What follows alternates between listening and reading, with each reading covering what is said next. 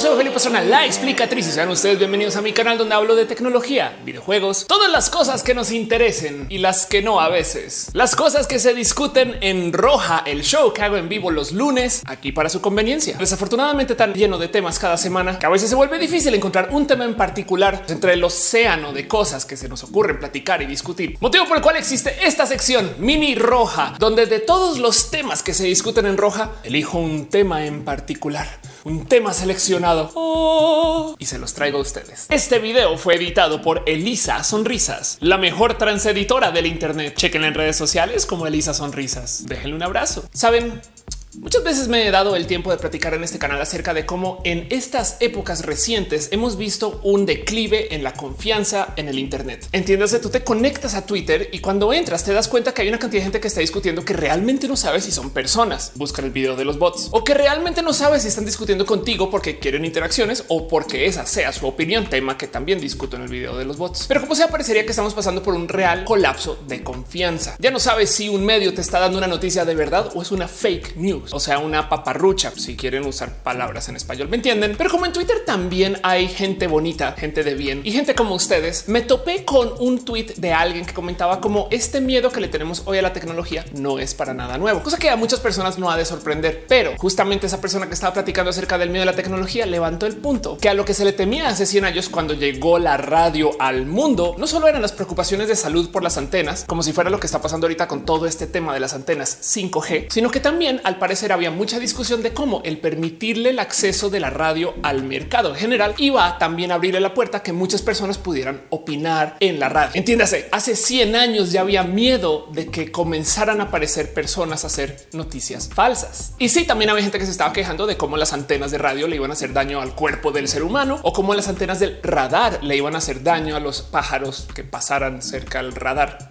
Y entonces justo todo esto me resonó porque parecería que 100 años después seguimos atrapados y atrapadas en el mismo dilema, cosa que entonces despierta la pregunta del qué está pasando. Lo digo porque si ustedes han estado siguiendo las noticias últimamente, seguramente se habrán enterado que hay personas que le tienen de repente miedo a la tecnología 5G. Quizás una tía les envió un forward o quizás su papá les comentó o quizás vieron por ahí una noticia falsa de alguien que se estaba riendo de que eso era una noticia falsa. Pero como sea, les llegó a ustedes el dato de que la tecnología 5G era muy dañina para el cuerpo humano y para rematar que gracias a la tecnología 5G tenemos la pandemia del coronavirus. Entiéndase, hay gente que genuinamente cree que el coronavirus llega gracias a las antenas del 5G. Y quiero platicar de esto, porque si bien hay que hablar de la tecnología del 5G en particular, me salta para bien o para mal el miedo a la tecnología del 5G. Comencemos por acá. ¿Qué es el 5G? 5G de hecho es el nombre que se le da a la quinta generación de tecnologías móviles para telecomunicación del Internet sobre su móvil. Entiéndase,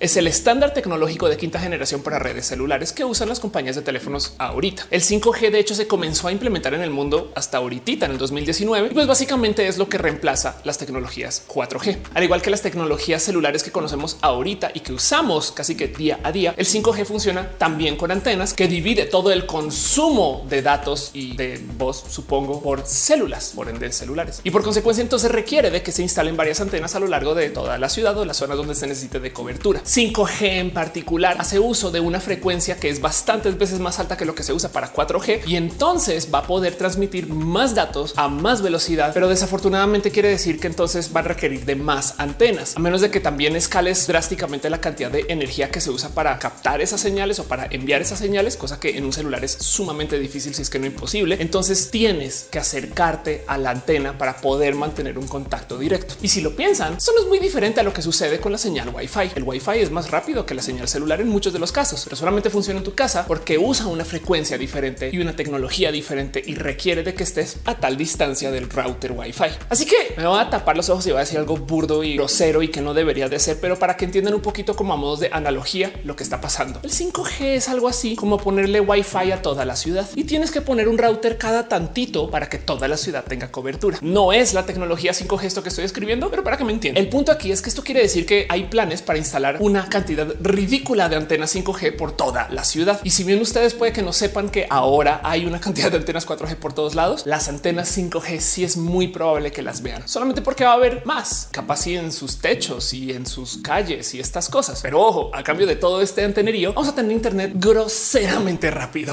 para hacer cosas chidas. De hecho, con muchas conexiones de casa capaz y todavía no vamos a poder hacer, pero las vamos a recibir vía móvil. Imagínense eso, qué bonito. Y ojo, quiero hablar justo un poquito acerca del qué es el 5G antes de entrar al tema de por qué le tenemos miedo al 5G, porque una de las cosas más impresionantes de ver a la hora de la discusión de que si el 5G es bueno o malo es el hecho de que la instalación de 5G no siempre instala tecnologías de quinta generación. Entiéndase cómo hay que instalar tantas antenas, pues entonces esos son proyectos masivos de infraestructura que a veces los gobiernos no pueden costear o que las mismas empresas de telecomunicaciones no están dispuestas a invertir en solamente porque hace menos dos o tres años lo hicieron con las tecnologías 4G y como que todavía tiene este sentido de no espera que sacarle jugo a lo que ya instalamos. Espera, aguanta, aguanta vara. Pero del otro lado, si tú eres, por ejemplo, una empresa de telecomunicaciones estadounidense que se mofa de ser la red más rápida y de repente ves en las noticias que en China están diciendo ya pusimos 5G en todos lados, chaval, capaz si tú dices hoy qué hacemos con lo que tenemos ya acá, no hay dinero para poner antenas nuevas todavía, no tenemos la red andando y entonces aplican todo tipo de raras artimañas para decir que se están subiendo la ola de la quinta generación sin hacerlo. Por si no lo saben, muchos celulares que se conectan a la red 4G tienen un sistema de conexión que se llama LTE, Long Term Evolution. Y entonces cuando te conectas vía el LTE, pero técnicamente no estás usando el protocolo original designado para las tecnologías de cuarta generación. Entonces algunos genios del marketing dijeron, oigan, y si le abrimos la llave rudo al 4G con esos routers que ya tenemos instalados y simplemente nada, pues le llamamos 5 chido. O sea, 5 evolución o algo así. Y entonces hay proveedores de servicio celular que no les miento, están diciendo que tienen 5G, pero realmente están usando todo el hardware de la cuarta generación tuneado para que dé pues, mucha más velocidad, pero que no necesariamente es el protocolo 5G con las antenas 5G. Pero hey, así por lo menos pueden decirle a los medios, sí, ya tenemos 5G Evolution, está chido. es como el 5G, pero es Evolution. Es un poquito como el meme de mamá, mamá, quiero tener 5G. Después la mamá te dice, ya tenemos 5G en casa. El 5G de casa es 5G Evolution. así que justo hay muchas, muchas cosas de las cuales hay que hablar cuando se trata de el miedo a la tecnología 5G, porque existe una leyenda de que es pues, realmente malo para tu cuerpo. Pero el tema es que no todo el mundo tiene 5G. Y entonces, si ahorita están señalando a la pandemia de llegar vía el 5G, es que la pregunta de cómo habrá llegado a los países donde no hay antenas de 5G en general, no? Igual y una posibilidad es que en México el fierro viejo es el que esté transmitiendo el coronavirus, no el 5G. Solo consideren eso. Compran colchones, tambores o algo de fierro viejo que venda. Es una serie de bocinas que van por toda la ciudad y la gente justo por toda la ciudad se está enfermando. Es solo una teoría.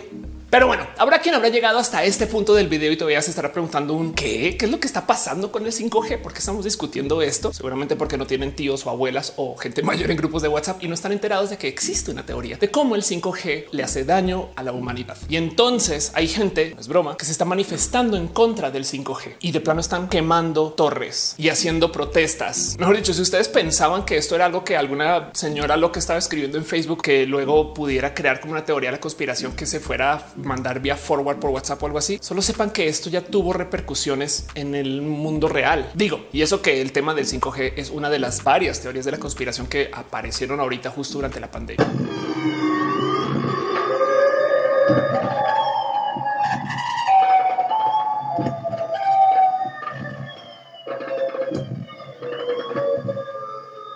Me quiero enfocar en esta en particular porque esta ya tenía una colita de existencia desde antes del coronavirus, solamente que ahorita se volvió muy mediática y de repente la gente la levantó. Y eso es importante ya les explico por qué. Porque lo tengo que decir, no más por dejarles a ustedes en claro, el 5G no es dañino. Hay mucho que se habla acerca de las energías que se usan en ese tipo de radiación. Hay mucho que se habla acerca de la tecnología y las antenas y cómo te puede hacer daños en el ADN. Entonces repasemos eso un poquito. ¿Qué quiere decir que una antena de 5G te puede hacer daños en tu código genético? Primero que todo, como en todas las teorías de la conspiración, esto tiene un granito de verdad, pero el granito está por acá y la verdad está por acá. El tema es que dentro del espectro de radiación electromagnética hay muchas cosas que no podemos ver. De hecho, si nos asomamos por un diagrama de radiación electromagnética, solamente hay un sector chiquititito que tiene lo que llamamos colores visibles. Esos colores visibles de pasos responden a la cantidad de energía y la radiación que se da más o menos alrededor de la temperatura de lo que está emanando el sol ahorita. Entiéndase, nuestros ojos son muy buenos sensores de radiación electromagnética, pero solamente para la temperatura o la energía que viene del sol y un rango relacionado a tanta distancia de eso. Si el sol fuera más frío o más caliente o más joven o mayor, es muy posible que los colores que pudiéramos ver estarían más tildados hacia otro tipo de radiación, ultravioleta, microondas, en fin. Y entonces esto quiere decir que básicamente todos los equipos que hagan emisión de energía electromagnética son focos, bombillos, como sea que se le llame en sus ciudades o países, solamente que emiten una luz que no podemos ver. Y sí, hay que también dejar en claro que hay todo tipo de raras dinámicas cuando hablas con espectros de energía que son muy lejanos a lo que está en el rango visible, porque si bien para nosotros y nosotras en este tipo de energías con este tipo de frecuencias, el vidrio es transparente en otro tipo de frecuencias, otros materiales son transparentes. Por eso es que nuestros celulares reciben señal dentro del departamento, aunque tengamos paredes. Pero bueno, traigo todo esto justo porque quiero dejarles en claro que básicamente lo que sucede con el tema del envío de información sobre el espectro electromagnético es que tenemos un dominio de cuánto podemos modular esas luces, por así decir, para enviar información. Y mientras más subas la energía, más información puedes mandar por segundo, pero tiene el problema que justo necesitas también de pues, más energía para hacer envíos. Llega un momento donde le tienes que meter tanta energía a esa radiación electromagnética que en potencia lo que estás enviando puede ser, y esto se le llama así, ionizante. Entiéndase que esas ondas con energía electromagnética manejan tanta energía que podrían técnicamente interactuar con tu código genético y sí podrían mover una pieza o dos mientras la atraviesan, por así decir, con tantas ganas. Y este tipo de energías ionizantes son también muy conocidas y las vemos mucho cuando lidiamos con materiales radioactivos. O sea, Bruce Banner estaba investigando radiaciones gamma, que son ese tipo de energías. En fin, pero de nuevo, esas energías ionizantes están aquí y la energía que se usa para la transmisión de datos de 5G está por aquí, están lejos. Se requiere de mucha más energía para poder generar un rayo, por así decirlo, de luz o de eh, alguna energía electromagnética que pueda modificar la genética. Y si lo piensan, si nuestro celular pudiera generar un tipo de radiación que fuera capaz de modificar la genética de alguien, se lo súper prometo que alguien ya lo hubiera usado como arma, porque tienes tú un dispositivo del tamaño de algo que te cabe en la palma de la mano que puede cambiar la genética de la gente y enfermarles. Wow. Obviamente eso no sucede porque para poder generar ese tipo de radiación necesitas mucha, pinche energía. Pero traigo toda esa colación porque justo la leyenda de que si el 5G hace daño o no, realmente no descansa en la irracionalidad del pensar que la energía te va a hacer daño en el código genético. Eso más bien es algo que dice la gente porque quiere añadirle datos científicos sin entender la ciencia detrás y simplemente quiere validar como que sus puntos para realmente decir lo que quieren decir. El 5G me da miedo. Miren, tanto así que de hecho se han hecho investigaciones para verificar si la tecnología 5G le hace daño también a los pájaros y a los animales y no se ha encontrado datos que lo comprueben en ninguno de los casos. Pero si todavía llegaron hasta acá y siguen pensando que el coronavirus llegó a México vía las antenas de 5G, les dejo este dato fino. En México no hay antenas de 5G. Hay unas de demo que se han usado en algunos lugares que honestamente no sé decirles si son realmente antenas de tecnología 5G o si son de tecnología 4.5G que se usa en modo, digamos que es 5G evolución y los planes para instalar el 5G en México se hablan de cómo quizás en el 2025 lo vamos a poder tener. Y de paso, esto no solo aplica en México. ¿Cuántos otros países del mundo no tienen 5G, pero sí tienen coronavirus? Y es que justo esto es lo que me salta de todo este cuento y toda esta historia, porque entiendo muy bien que hay gente que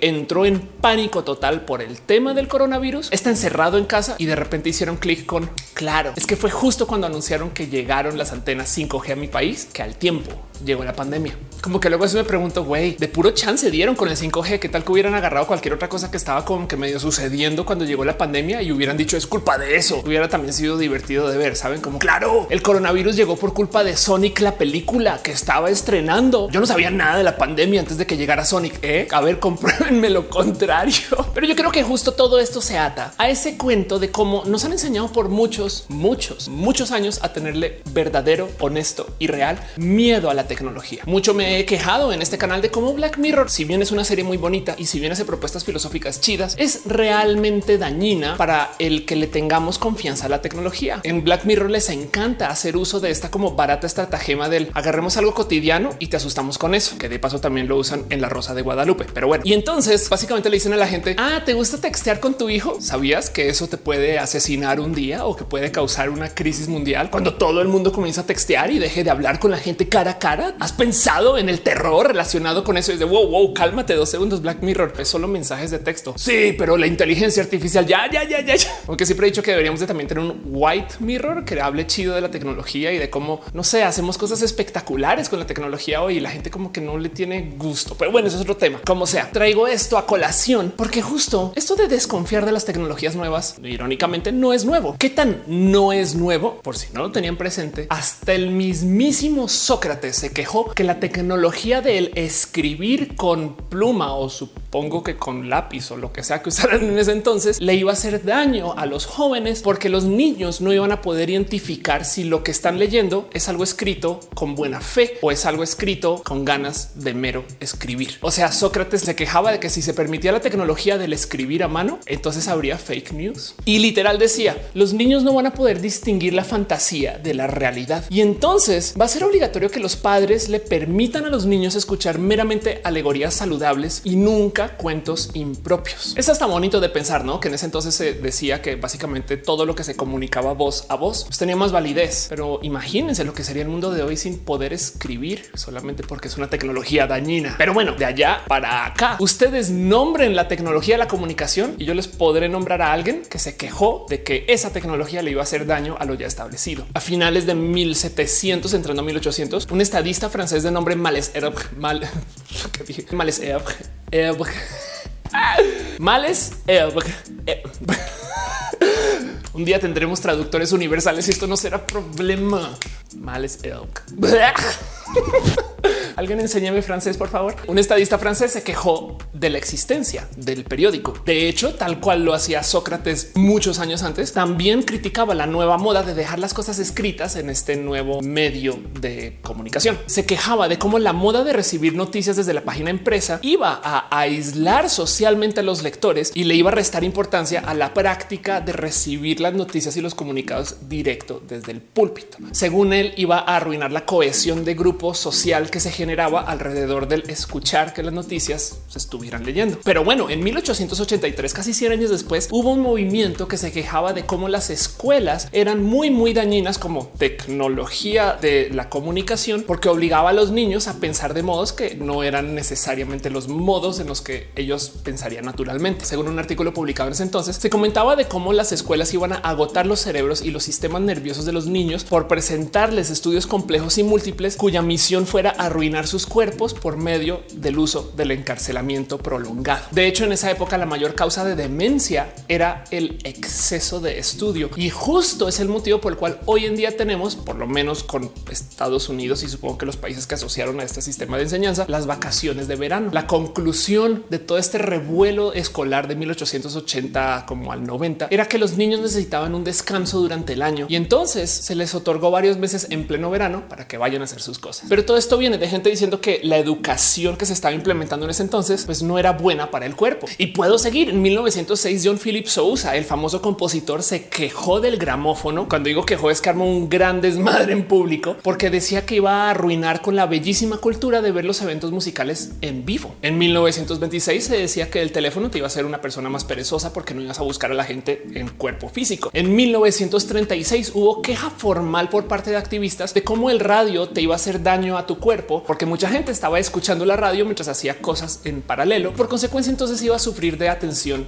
dividida. Curiosamente, después aparecieron quejas de la tecnología de la televisión porque decían que iba a arruinar la bella costumbre de escuchar la radio. Y sí, tan reciente como el 2005 había artículos en CNN que decían que leer el email quemaba más neuronas que el consumir marihuana. Y neta, yo recuerdo ver un libro por ahí en esas épocas que se llamaba Google nos va a ser idiotas, que argumentaba que como ya googleas cualquier cosa que se te ocurra, entonces ya no está haciendo como uso de la memorización de los datos y las cosas y por consecuencia nos vamos a volver personas más idiotas. Y miren, antes de seguir, solamente quiero decir algo porque yo sé que cuando hablo de estos temas habrá que dice la verdad es que sí. Hoy en día no recordamos ningún teléfono. Yo me acuerdo que de chiqui así era. Yo me sabía los teléfonos de toda la cuadra y de mis amigos y de mis tíos y mis abuelos, pero es que hoy en día no recordamos teléfonos porque no los usamos. Más bien les hago la pregunta cuántas claves, passwords se saben y de paso les dejo la pregunta si no es más difícil memorizarse 30 passwords que 30 teléfonos. Pero bueno, levanto todo esto justo porque hay algo muy bonito que observar acerca de las adopciones de las tecnologías y es como pues evidentemente y como yo creo que debe ser natural de entender, pero lo dejo en dicho, adoptamos las tecnologías y las naturalizamos a medida que crecemos. Entiéndase, nos es muy normal entender el pasar del teléfono rotario, teléfono de disco, al teléfono celular porque lo vimos suceder. Pero ahora quien le habrá dedicado su vida al uso de teléfonos de casa y fijos que luego le caerá por algún motivo mal que la gente tenga celulares. Se los prometo que gente así y que existe y que siguen vivas hoy. Decía Douglas Adams, el autor de la guía del autoestopista intergaláctico, un escritor de ciencia ficción espectacular, que la tecnología que tenemos o que existe en el momento en el que nacemos, pues la internalizamos como parte de la vida. Pues sí, por supuesto que los coches existen y por supuesto que el teléfono y salir de la casa a ver el mundo así es lo más normal, porque siempre me ha tocado verlo así. Luego de ahí y que vamos creciendo toda la tecnología que vamos viendo que se va desarrollando nos asombra, nos invita a investigarla, pero llegando hacia más o menos los 35 años, decía Douglas Adams, comenzamos a tener dudas. Entiéndase, pasando los 35 años, la tecnología ya no nos comienza a gustar tanto que cambia. Y quizás esto tiene que ver con el hecho de que a los 35 años ya la gran mayoría de la población está en un espacio laboral que pide o sería más cómodo, por lo menos si no tuviera tantos cambios. Mientras que antes, pues la verdad es que a ti te vale gorro que te hayan cambiado Excel por Google Docs, porque honestamente estás en la prepa y entonces ves que por ahí alguien dice, ay, no entiendo las cosas de hoy, pero pues te vale gorro y dices, ay, qué chido que ahora todo sea online. Digo, no hablo de experiencia personal, pero puede que sí. Guiño, guiño.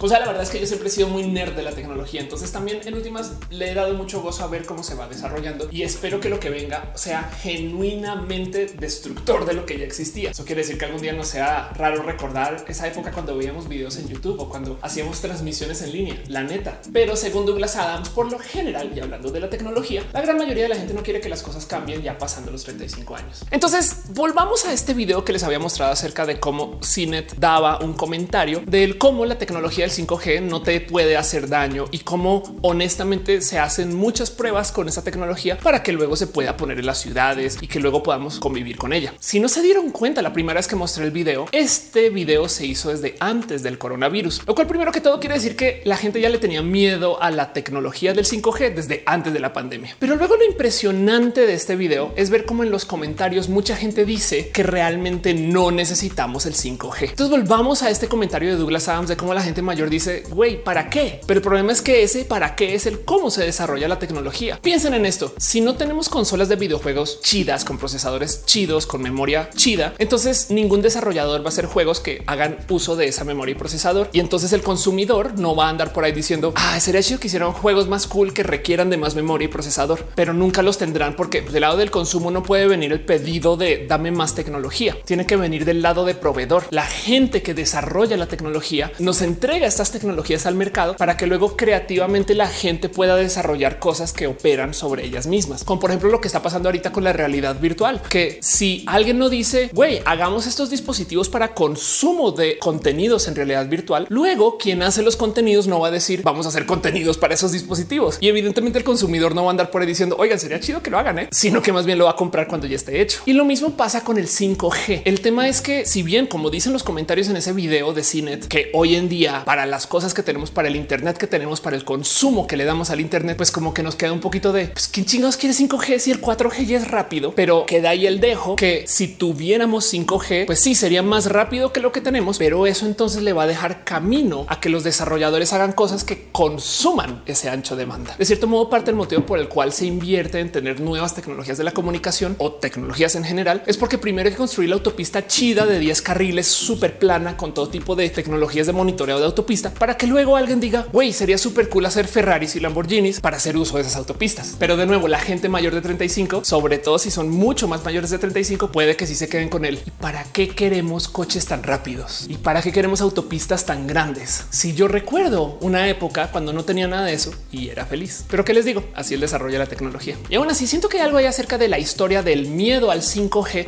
que no se está contando que por lo menos sería difícil de explicar tomándonos nomás el factor si es que la gente le tiene miedo a las tecnologías nuevas, porque parte de las cosas que se dicen acerca del 5G son genuinamente irracionales. O sea, sí, sí existe la leyenda de que el coronavirus no existe y entonces lo que están haciendo los doctores es y no es broma. Si hay gente que sostiene esto con cara seria, sacarte fluido de tus rodillas por algún motivo y a veces a propósito asesinándote para mantener una historia andando, pero que eso no tiene nada que ver con el coronavirus. Las historias de las teorías de la conspiración son genuinamente fantásticas. El tema es que como científica, como comunicadora, como persona racional, a veces es muy difícil desarmar el cómo llegaron ustedes a pensar en eso. Las fantasías del pensamiento mágico son infinitas y he ahí el problema. De hecho, hace unos ayeres hice un video que está basado en un video que debería traer este canal también acerca de justo cómo la gente experta y la gente pseudo experta se topa en el Internet para discutir la ciencia contra la pseudociencia. Que no más por dejarlo en dicho, la pseudociencia es básicamente este como paradigma del pensamiento de la investigación, donde tú ya tomaste una decisión acerca de lo que va a suceder y buscas datos para corroborarlo, mientras que en su definición, porque ojo, yo sé que hay científicos que no cumplen con esto, pero en su definición la ciencia básicamente se deja llevar por los resultados. Lo que digan los resultados nos lleva hacia el camino que cuenta una historia que puede trabajar alrededor de una hipótesis. Entonces las teorías nunca se pueden comprobar, sino que simplemente las tienes que seguir poniendo a la prueba. Entonces en este video yo discutía de cómo la gente que es tierra planista, antivacunas y que trae este pensamiento mágico tienen una cosa en común que es muy difícil de desarmar y que les digo algo, técnicamente es algo a lo cual le deberíamos de dar la bienvenida. Y es que todas estas personas en su cabeza, en su marco operativo, son contrasistema. Entiéndase, es gente escéptica, es gente dudosa, es gente que ve algo escrito en la pared y dice, no sé, ¿eh? a lo mejor las cosas no son así como tú me lo dices. Y eso técnicamente está bien. La curiosidad es el motor de tantas cosas bonitas de la humanidad. Pero entonces, ¿por qué la curiosidad del tierraplanista está mal y la curiosidad del astrofísico que trabaja en SpaceX, esa sí está bien? Pues tiene que ver justo con el paradigma de la pseudociencia versus la ciencia. Porque de nuevo, el problema de la gente tierraplanista es que ya decidieron que la Tierra es plana. Entonces la evidencia no tiene validez. De hecho, la búsqueda de evidencia comprueba que su raro pensar, su loquito único y súper especial pensar ha de ser válido. Pensemos en esto. Digamos que yo me invento que hay aliens que viven en el parque hundido aquí en la Ciudad de México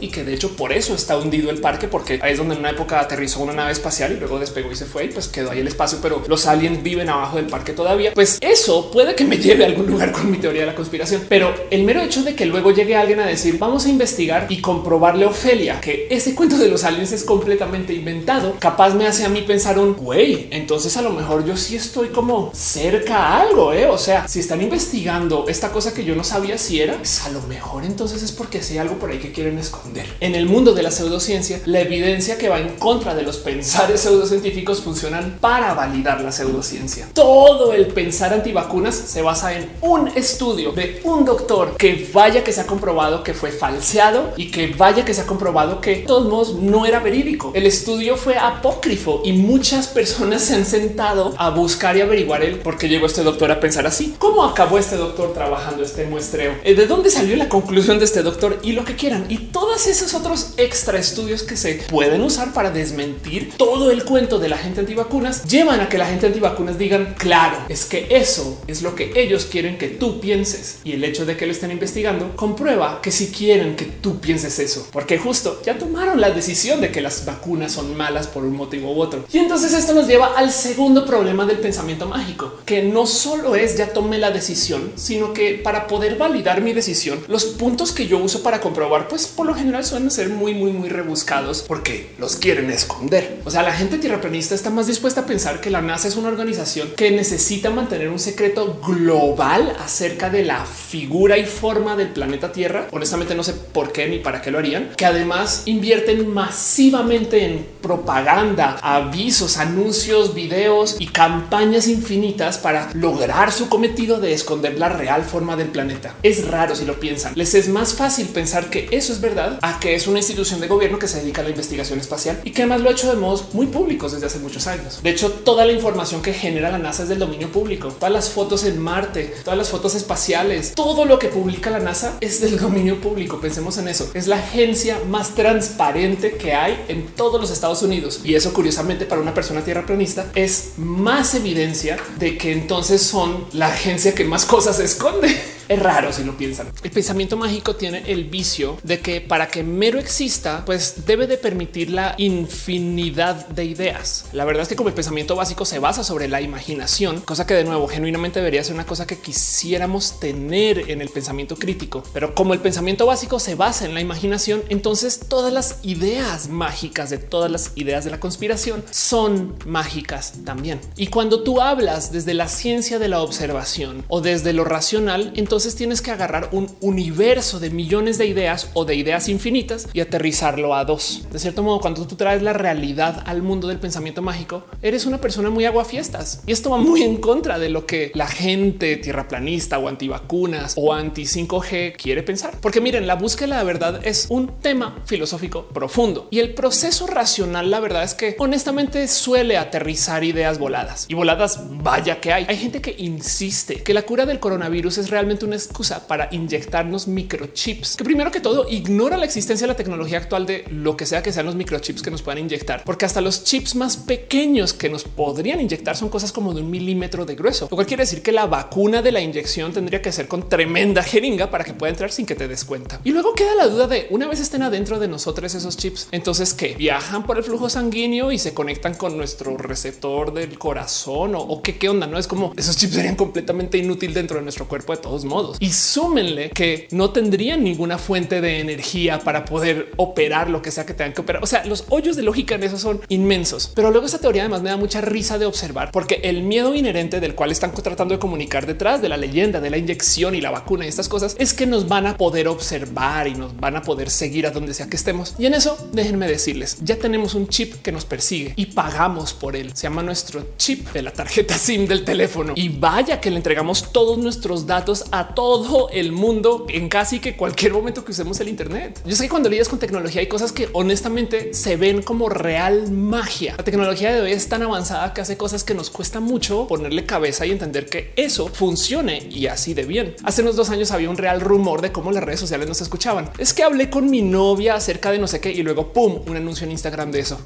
seguramente Instagram me está escuchando. Y esa leyenda, pues la verdad es que corrió y le dio vueltas al Internet por mucho tiempo porque es genuina. Las redes sí te hacen sentir que te están escuchando. De hecho, mucha gente comenzó a hacer análisis real de si sí está haciendo todo ese tráfico de datos, tu teléfono o las apps que usas en tu teléfono. Porque si lo piensan, el que tu teléfono te esté escuchando implica que tiene que usar X procesador y que tengan que tener el micrófono activado que te debería de avisar. Yo sé que de darle vuelta a eso, pero que luego además que tengan que enviar todo eso vía uso de datos. Entonces muchas veces va a realmente hacer esto estudios que medían el cuánto cambia el uso de datos si abres una app y otra y demás. Y topo con que si estuvieran enviando datos de audio o de lo que sea procesamiento de audio, sería notorio. Pues como que se quedaron así como con las manitas en el aire y entonces qué pedo. Y justo en ese momento apareció un vicepresidente de una gran red social que comentó del cómo las redes sociales, si bien sí te escuchan, pero no escuchan lo que dices, escuchan los websites a dónde vas y tus búsquedas, escuchan el con quién estás, escuchan el que comentas dónde a qué horas y sobre eso hacen un análisis análisis súper, súper, súper profundo acerca de gustos, preferencias y a veces de plano tratan de adivinar. Y lo que dijo es que los algoritmos de análisis de Big Data son tan buenos que no nos tienen que escuchar. Piensen en eso, que ellos de plano dicen, pues es que no tenemos que levantar datos acerca de lo que hablan, porque con lo que tenemos ya es tan bueno que tú crees que te estamos escuchando. Entonces sí, claro, por supuesto, entiende una el porque habrá gente que dice, güey, es que la tecnología está haciendo cosas súper requete mega malvadas porque honestamente no la entiende. Y de paso, nomás quiero dejar ahí dicho el problema es que no la tenemos que entender. Yo creo que también hay algo que tenemos que comenzar a internalizar como especie humana y es que hay cosas que nos serían genuinamente más amenas si permitiéramos que sucedan. No digo el tema de que las redes sociales te escuchan da un poquito de miedo, pero si lo piensan, técnicamente lo hacen porque quieren cambiar el te vamos a mostrar anuncios de lo que sea a te vamos a mostrar anuncios de cosas que te pueden interesar. Y les digo algo, yo creo que eso es medianamente bueno, pero no es de lo que quiero hablar ahorita. Traigo todo esto a colación porque quiero platicar un poquito acerca de justo cómo tenemos un real problema de comunicación. Como comunicadora de ciencias, me es muy normal toparme con canales que se la pasan desmintiendo teorías de la conspiración. Por un lado, entiendo por qué la teoría de la conspiración es viral, y entonces necesitamos hacer contenido de esto. Y entonces va a tener views y además de paso le estoy haciendo un bien al mundo porque les estoy explicando que eso que creen ustedes no es. Y entonces aquí está la ciencia que sí es y llévense ustedes su pensamiento crítico. Hay que hacer eso. Estoy de acuerdo. Está chido. Pero del otro lado, la gente que está explicando estas cosas suele traer un tono que a veces es muy difícil de procesar para quien sí cree en el pensamiento mágico o para quien sí cree en la pseudociencia. Y yo creo que ahí sí vale la pena hacer uno que otro ajuste acerca de literal el cómo nos comunicamos. Porque además estas mismas personas que ahorita están en pánico con las antenas 5G, me cae que genuinamente no están listas para el mundo que viene. Elon Musk está lanzando cientos de satélites al espacio para hacer una cadena de satélites que va a enviar señal con acceso al Internet para gente que vive en zonas rurales. Pero estos satélites bajo ciertas condiciones se ven desde la Tierra. Y entonces, ¿qué van a pensar cuando vean una cadena de luces pasar por encima de su casa sin entender que eso es tecnología hecha por otros seres humanos en otra esquina del mundo? Y eso es lo que viene ahorita que estamos pasando por una pandemia. Hay todo tipo de raras creencias alrededor del COVID y raras creencias alrededor de los cuidados que tenemos que tener para no contagiarnos o no contagiar a la gente cercana a ti. Hubo un video viral en particular muy famoso de una mujer que decidió cortar un hoyo en su máscara para poder hablar y respirar porque le molestaba que la máscara le tapara la cara, cumpliendo así con la regla de usar máscara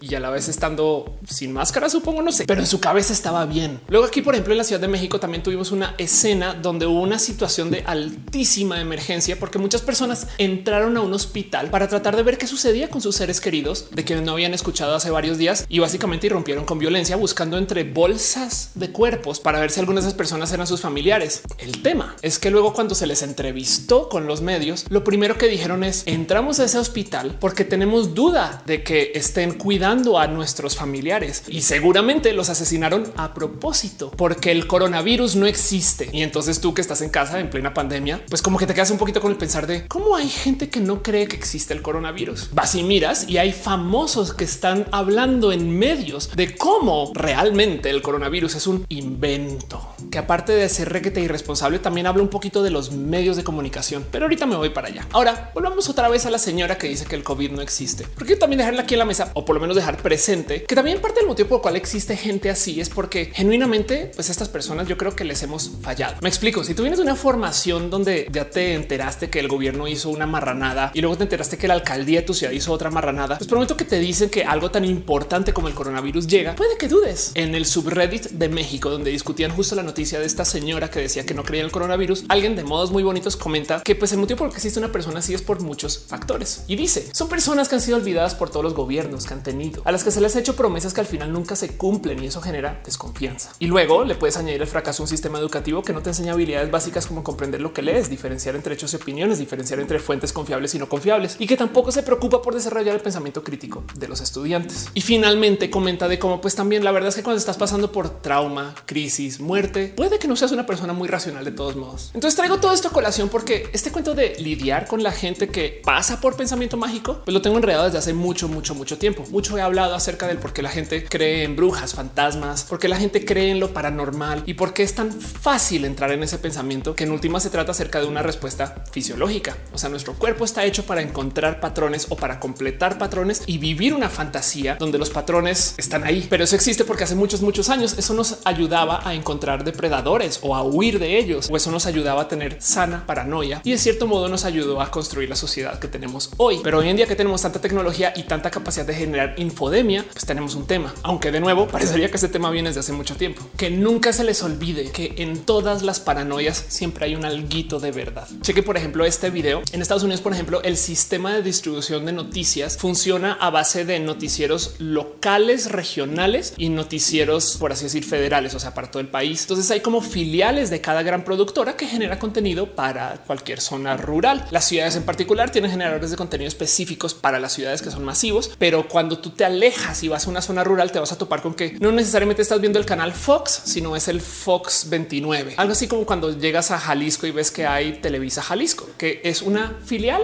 y da noticias similares con presentadores diferentes, pero que también se enfoca en los contenidos locales y que todos recibe noticias de la casa matriz y las comunica, pero desde los comunicadores locales. Y resulta que la gran mayoría de la comunicación rural en todas estas filiales las organizan muy, muy poquitas empresas. Entonces es muy fácil coordinar que los presentadores en las zonas que no son urbanas digan básicamente lo mismo. Y si nunca habían tenido miedo acerca de la coordinación de la entrega de las noticias por parte de los medios, nomás vean este video. Jessica Headley. And I'm Ryan Wolf. Our greatest responsibility is to serve our Treasure Valley communities, the El Paso, Las Cruces communities, Eastern Iowa communities. Mid Michigan communities. We are extremely proud of the quality, balanced journalism that CBS 4 News produces. But.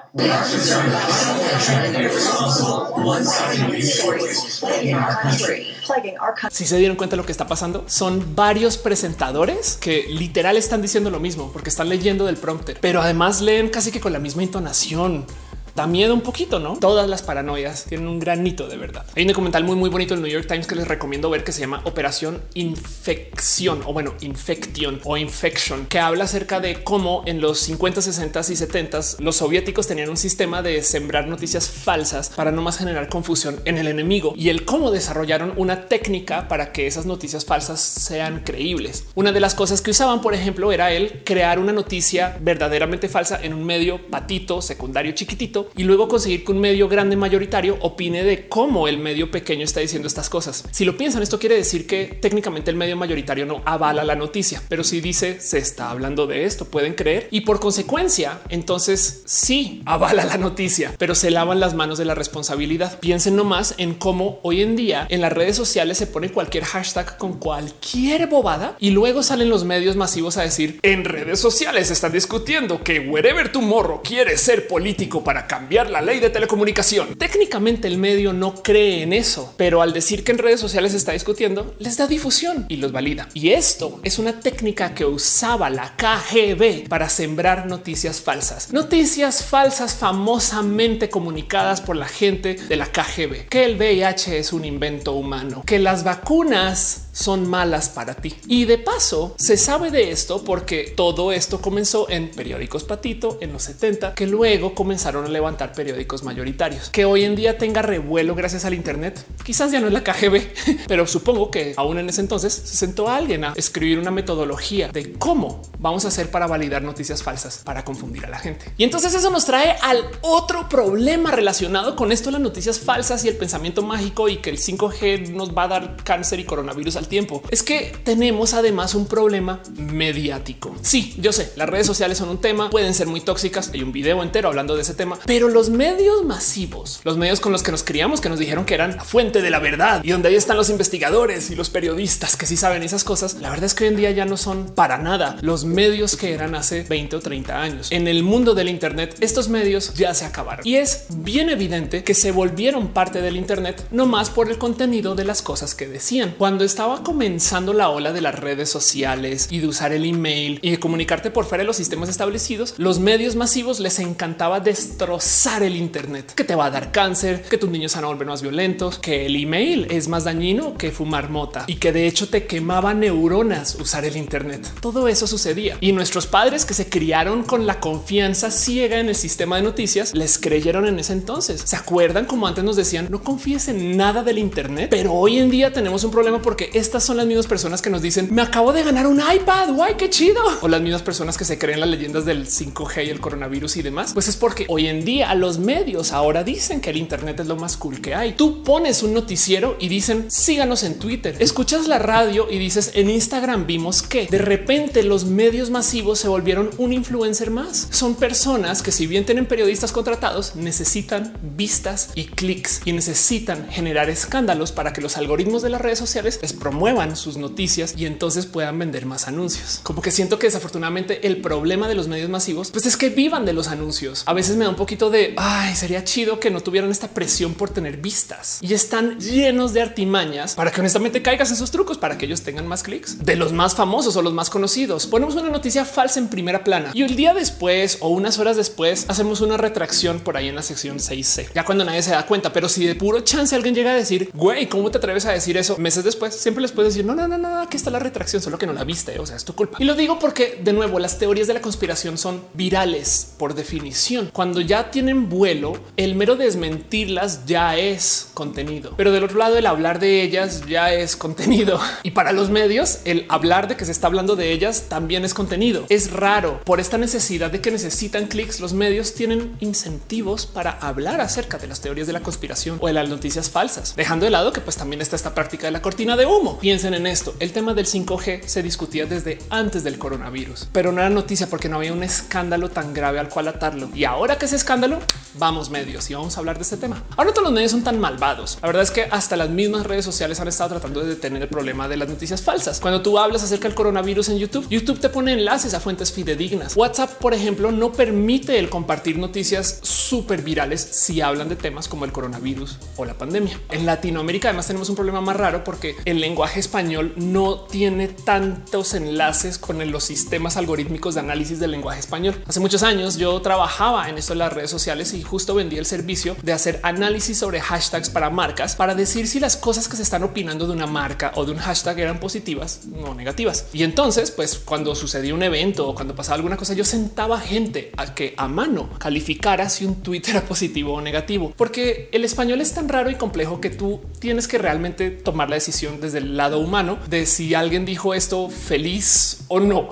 ya saben cómo es en el español mexicano, no mil usos para la palabra chingado y en fin, me acuerdo que justo en esa época yo de hecho busqué expertos en informática del lenguaje para no más preguntarles un qué se necesita para que eso se pueda automatizar. Y lo primero que me dice es a diferencia del lenguaje inglés que tiene tanto análisis hecho desde lo informático, hay muy, muy poquito de esto para el español. Entonces no hay APIs, no hay bases de datos, no hay diccionarios públicos donde te puedas conectar y mucho menos hay diccionarios que te ayuden a hacer inferencia de análisis de si las cosas son positivas o negativas. Que si bien hoy en día sí sé que hay gente que está trabajando en esto, sigue siendo un campo muy minoritario. Y no se me olvida que en ese entonces, de hecho, me dijo, si tú encuentras a un investigador del lenguaje que sepa usar Google Docs, ese es el que sabe de informática. Entonces no esperes mucho. Si bien esta información ya tenía unos años, la verdad es que hoy en día todavía es muy difícil encontrar software que pueda hacer análisis del español también como lo hay software que haga análisis del inglés. Cuando vas a websites que verifican si una cuenta es bot o no, por ejemplo, es mucho más probable que funcione mejor en inglés que en español por esto. Y entonces a lo mejor también por esto mismo las redes sociales no pueden supervisar tan bien de modos automatizados el contenido que se está publicando sobre sus redes sociales porque no pueden hacer tan buen análisis de lo que se está diciendo y no pueden levantar como bonitos sistemas de inferencia para saber si esta noticia falsa es realmente una noticia falsa, pero en inglés sí. Entonces es posible que para añadirle al desmadre el tema de que las noticias falsas se propaguen tan rápido en redes sea más grave en español que en inglés. Pero de nuevo, eso habla acerca de los bots y de los sistemas de transmisión. Creo que también hay que honestamente darle una mirada al quién escribe estas cosas y quién las propaga, porque no les voy a mentir, sí que me da mucha rabia de ver que ahorita en plena pandemia de repente aparecieron, creo que fueron ya vamos en tres meteoritos que van a llegar a la Tierra, un hombre lobo, ya aparecieron varios ovnis que de paso ya habían estado desde antes, pero de nuevo volvieron y ahora estamos hablando acerca de insectos peligrosos. Solamente falta que llegue Chupacabra 2 o algo así, motivo por el cual entonces aprovecho este video para proponer una nueva ley del Internet, la ley de Stanley por Paco Stanley, donde me gustaría estipular que sabes qué tan grave está la situación según la cantidad de ovnis, meteoritos, asteroides, cosas fantásticas que vengan en tu camino, para lo cual los medios ahora están desatados hablando solo de este tema y no de la situación, porque curiosamente en diciembre y en enero no venían ni los ovnis ni los hombres lo piensan en eso. La ley de Stanley. A veces quizás me da un poquito de rabia que más bien las cosas fantásticas que usan, como que siento que igual les falta un poquito de imaginación a estos medios. Hace nada puse un Twitter, un pequeño hilo donde les daba ideas nuevas para ver si alguno, no sé, les suena.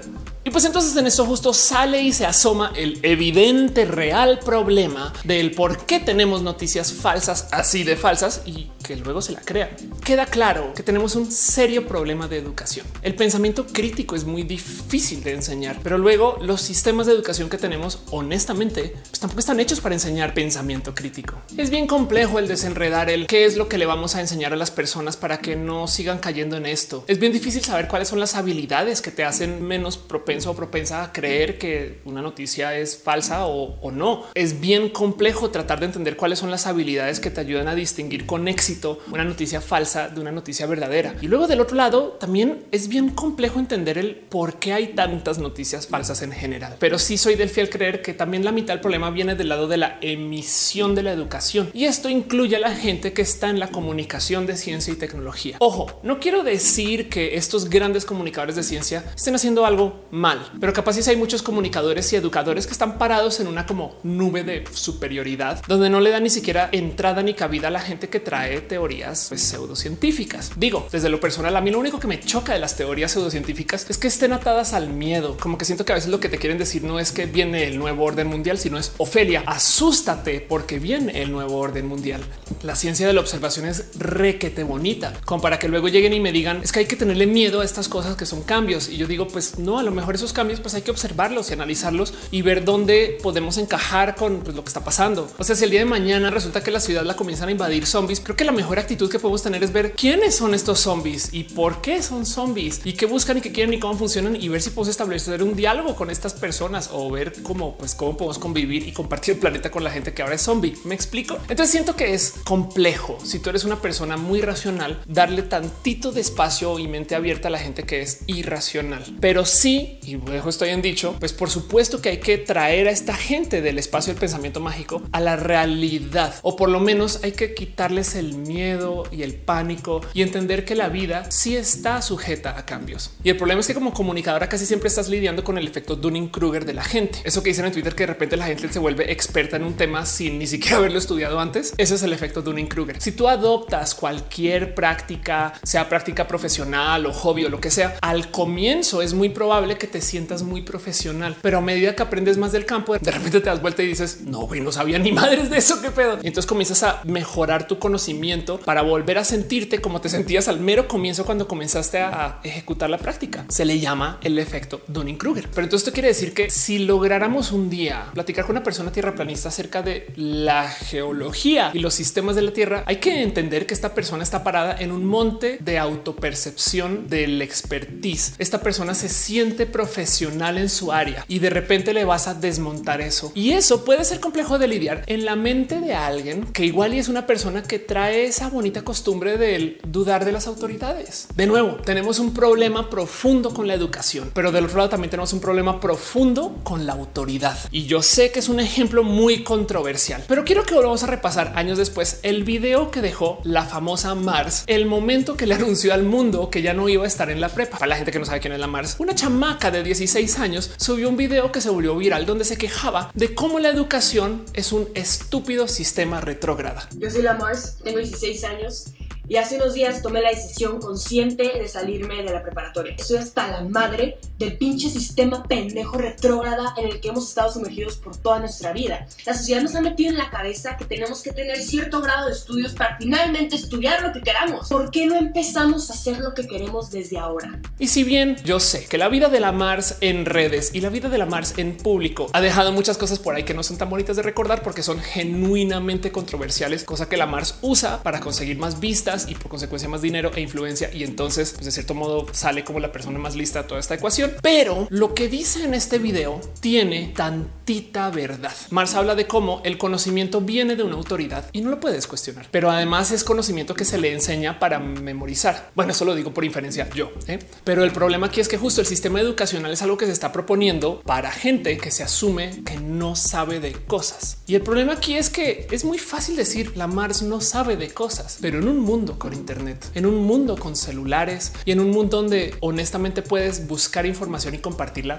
así, capaz y es mucho más fácil de aprender de esas cosas que no sepas. Entonces la educación que tenemos hoy responde a un sistema donde esta tecnología no existía. ¿Cuántas cosas han aprendido a hacer ustedes en YouTube? Aún para la gente que estudió sistemas, todavía ya graduados tienen que buscar cosas de cómo hacer X o Y o tienen que aprender tecnologías nuevas y tienen que autoeducarse en el Internet. El problema de nuestro sistema educacional es que se diseñó como desde 1870 hasta eso de 1920, pensando en gente que vivía en el campo o que vivía en las ciudades, pero pues que vivía vidas muy activas porque estaban construyendo esas ciudades y esos paradigmas de vida de 1900, 1890. Y entonces tenías tú una población que era muy rica en experiencias porque vivía afuera y esos cuentos de que se iban en el tren y que el bar de jóvenes y todas esas cosas que pasaban a cambio de siglo pasado. Pero así como eran ricos en experiencia, eran pobres en conocimiento. La educación general se planteó en ese entonces para traerle todo un mundo de conocimiento a gente que igual ya estaba haciendo todo tipo de cosas y tenía todo tipo de experiencias y ya tenía a veces hasta vocaciones. Mientras que la vida de hoy es completamente diferente. La gente ya sale poco de sus casas. Los niños ya no andan en bici por la cuadra porque es hasta inseguro, juegan en línea y todo el mundo tiene el Internet.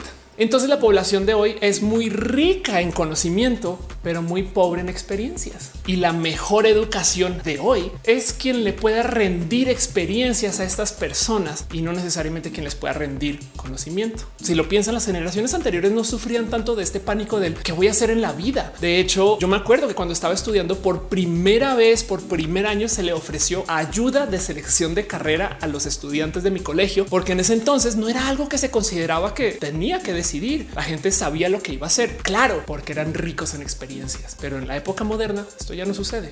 Y pues por supuesto, como los sistemas educacionales están completamente rotos, la educación de la vida moderna llega por medio de espacios pues como este. Yo le dedico mucho tiempo a hacer contenido, por ejemplo, hablando del tema LGBT. Tengo un canal entero dedicado a eso y lo hago porque nadie en la escuela enseña nada de la diversidad. Entonces, por supuesto que llega gente a sus 28 años, a sus 45 años sin saber lo que es una persona pansexual o bisexual. Por supuesto que le es totalmente nuevo a la gente la vida trans, porque en las escuelas no se dignan a levantar el tema. La gente experta suele ser gente que tiene exceso de educación en sus rubros y a veces se sorprenden que la gente con quien habla genuinamente no sabe de nada de lo que están aprendiendo. Y no les va a mentir, eso está divertido de ver. Con este cuento del 5G me topé con par videos donde veía comunicadores expertos confundidos, así con los ojos así de güey, pero en qué momento ataron que un virus y la señal 5G, ¿qué le pasa a la gente? ¿Qué es esto? Así que no más para recapitular. El 5G de hecho es algo que nos va a ayudar mucho en la vida. El mejorar nuestras tecnologías de la comunicación de hecho va a apoyar hasta la economía del país, pero le tenemos miedo y el miedo no viene del miedo a la tecnología, sino viene de un hoyo de educación. Pero el problema es que quien está educando ahorita, que no son las escuelas, también manejan pensares de élite, de yo tengo la razón y tú no. Y esto desafortunadamente no va a funcionar con nuestros papás, por ejemplo. La gente que tiene papás o tíos que son fieles creyentes que te están sacando líquido de la rodilla para ponérselo a las antenas del 5G o algo así, pues va a tener que lidiar con que desmontar esos pensares es más complejo que solo decirles papá estás mal. Es una negociación mucho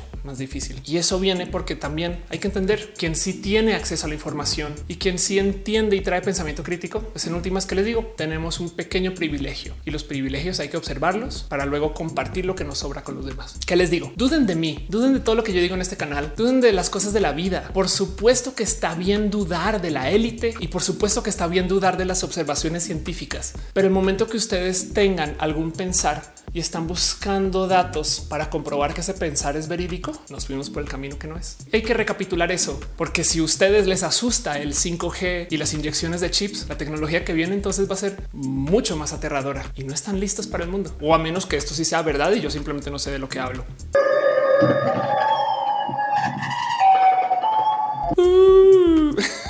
En fin, yo soy Ofelia Pastrana, la explicatriz, y solamente quería dejarles acá un poquito de paz. Las teorías de la conspiración tienen el problema que están diseñadas para asustarnos. ¿Por qué? Pues porque si nos asustan, igual y las compartimos más. Si nos asustan, igual y nos fijamos más. Genuinamente no es que podamos hacer mucho de todos modos, pero como sea, me rehuso a vivir en miedo. Entonces, ojalá este tipo de videos les sirva también para eso. Y si no, pues por lo menos, ¿por qué no me dejan aquí abajo en los comentarios las teorías más raras y locas que han escuchado ustedes acerca de la tecnología o de la vida ahora en épocas de coronavirus?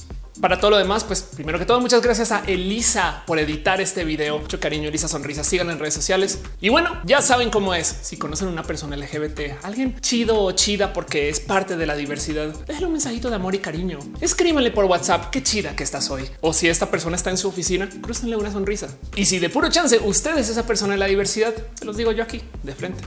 Eres una persona bien cool. Y gracias a ti, el mundo está mejor. Yo soy Ofelia Pastrana, la explicatriz. Comenten, opinen, like, compartan esas cosas.